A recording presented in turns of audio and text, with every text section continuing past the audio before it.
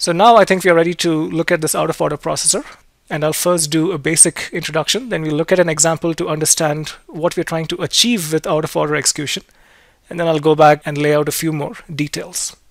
So in this design, the first thing that happens is branch prediction and instruction fetch, right? So this is where I use a hardware sophisticated branch predictor, which has an accuracy of well over, say, 90%. And it tells me exactly what instruction I'm likely to execute next. Once I've made that prediction, I go into my instruction memory unit and fetch as many instructions as I can. And so I bring in maybe four consecutive instructions. And those then get placed into what is called the instruction fetch queue. So the instruction fetch queue is a buffer saying that I'm trying to run ahead of where the program is. I'm just going to keep making guesses of what I need to execute next, and I'll start bringing in the next set of instructions.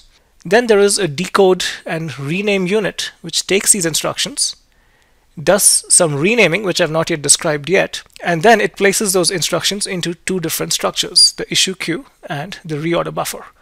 Let's first look at the issue queue. So each instruction over here gets renamed and then placed into the issue queue. And the issue queue is the smarts in this design. It's able to analyze whether instructions depend on each other or not, right? So what I'm trying to do over here is, in the past, I was looking at only one instruction at a time, right? I was only looking at the oldest instruction and trying to execute it, right? So my decode unit would look at this oldest instruction, see if that instruction is ready to progress. If it is ready to progress, then I let it move into the ALU units.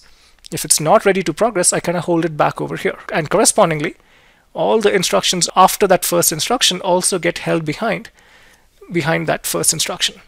Now what I'm trying to do is I'm saying that while I'm analyzing this first instruction, let's bring in the next set of instructions as well, right? So I want to try and look at the next 20 instructions or the next 50 instructions.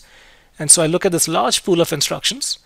If this first instruction is not ready to execute and not ready to, to progress into the next pipeline stage, then I look at these other instructions and see if one of them can actually go ahead and execute, right? So we are relying on the fact that these instructions after that first instruction don't always depend on the first instruction, right? If they all depended on this first instruction, then there's nothing you can do. Everybody has to wait behind that first instruction.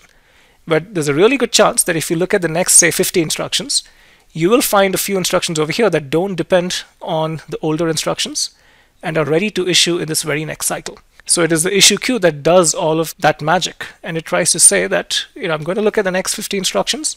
In any given cycle, I'm going to analyze all of these instructions figure out which instructions have all the registers that they need in order to execute. And those instructions are going to be picked and then sent off to the ALU units. So these instructions all go ahead, execute in parallel. I'm trying to do a lot of things at the same time, right? So this is a hardware intensive approach to get high performance. That's why I fetched multiple instructions in any given cycle. I'm decoding and renaming multiple instructions and putting it in the issue queue.